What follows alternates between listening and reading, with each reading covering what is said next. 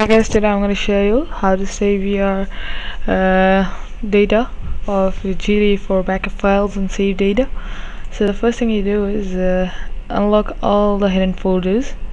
Uh, so the way you do it is first you go to my computers and then over here you'll you'll go to open control panel and you'll search for hidden wait sorry hidden yeah yeah so is what you press and then they'll be like don't show hidden folders but you should press show hidden folders. And then you press apply and then okay and then the next step you do is again go to my computer and then you go to uh, no not recovery sorry uh, C yeah and then you find the folder called users.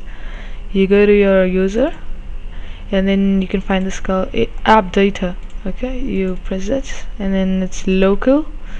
There will be one folder called rockstar games. Rocks yeah here it is.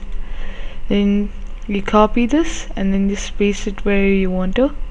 And then there'll be this folder. Uh, you first you get a Microsoft uh, Microsoft yeah here is it XLive. And then you copy this and then you paste it so uh, yeah it's all crap. And next time you want you want to play the game you just go to the same folders I showed you and then copy and paste that. Uh, thank you guys